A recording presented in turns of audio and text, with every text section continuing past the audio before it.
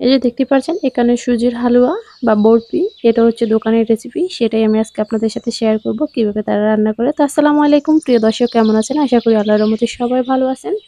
তো Mimi's cooking থেকে আমি আজকে আপনাদের সাথে শেয়ার করব দারুণ একটা সুজির হালুয়ার রেসিপি তো আশা করি ভিডিওটি না টেনে পুরো ভিডিওটি দেখবেন। প্লিজ, দেখার শুরুতে একটা লাইক দিয়ে দিবেন। আপনাদের কাছে আমার এই রিকোয়েস্টটাই রইল। প্লিজ রিকোয়েস্টটা রাখবেন। তো এখানে আমি ফ্রাই প্যানে দিয়ে দিয়েছি দু চা চামচের মতো ঘি আর নিয়েছি আমি এক কাপ সুজি। তো এই ঘির মাঝে কিন্তু আমি সুজিটা ভেজে নিব।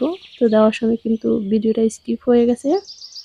তো যখন দেখবেন সুজিটা ভাজতে ভাজতে একেবারে ঝুড়া হয়ে গেছে আর একটা দেখবেন সুন্দর একটা ফ্লেভার আসবে সুজি ভাজার ঘিয়ের সাথে। তখন কিন্তু সুজিটা নামিয়ে নিতে হবে। তো আমার সুজিটা কিন্তু ভাজা হয়ে গেছে আর আমি এখন নামিয়ে নিয়েছি আর ভাজতে হবে মিডিয়াম হিটে। তো এখানে আমি দিয়ে দিয়েছি সাড়ে তিন কাপের মতো দুধ। আর এখানে দিয়ে দিয়েছি আমি এক কাপ চিনি। মিষ্টি আপনারা যেমনটা খেতে পছন্দ করেন ওরকমটা দিবেন। এখানে আমি দিয়ে দিয়েছি পরিমাণ মতো লবণ। আপনারা চাইলে এখানে ফ্লেভারের জন্য এলাচের গুঁড়া দিতে পারেন। তো এখানে আমি দিয়ে দিয়েছি কিছুটা জাফরান। হোটেলে তারা রান্না করলে কিন্তু এভাবে একটু জাফরান দেয়। জাফরানটা দিলে সুন্দর একটা গ্রান আসে। তো যখন দুধটা একটু গরম হয়ে আসবে, তখন এখানে সুজিটা দিয়ে অনবরতে নাড়তে থাকতে হবে, নাহলে কিন্তু দলা পেকে যাবে। তো আমি এভাবে অনবরতে নাড়তে থাকব। নাড়তে নাড়তে দেখবেন ঘন হয়ে আসবে। এর রান্নাটা একেবারে সহজ। তো যারা পার না, তাদের জন্য আমার এই রেসিপিটা যারা নতুন এই যে দেখতেই পারছেন, নাড়তে নাড়তে কিন্তু সুজিটা ঘন হয়ে আসছে। এখন কিন্তু আমি সুজিটা নামিয়ে নিব। এটা ঠান্ডা হলে কিন্তু আরও ঘন হয়ে যাবে। এই যে, এখন আমি কিন্তু একটা চারবিন ডিশে ঢেলে দিয়েছি। তো আমি একটা চারবিন ডিশে ঢেলে নিব। দেখতে পাচ্ছেন অনেকটা ঘন হয়ে গেছে।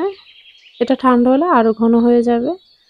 তো আমার ভিডিওটি যারা আজকে প্রথম ভিজিট করেছেন প্লিজ একটা লাইক দিয়ে দিবেন। যদি ভালো লাগে থাকে, তাহলে চ্যানেলটি সাবস্ক্রাইব করে পাশে থেকে যেতে পারেন।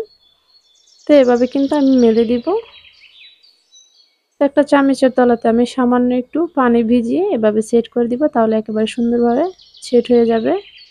যখন একটু ঠান্ডা হয়ে আসবে, এটাকে আমি এক ঘণ্টার জন্য ফ্রিজে রেখে দিব, তাহলে একেবারে সুন্দর করে বসে যাবে। তো এই যে দেখতেই পাচ্ছেন, এক ঘণ্টা পর একেবারে পুটিংয়ের মতো চাক হয়ে বসে গেছে, তো এটাকে আমি কেটে নিব।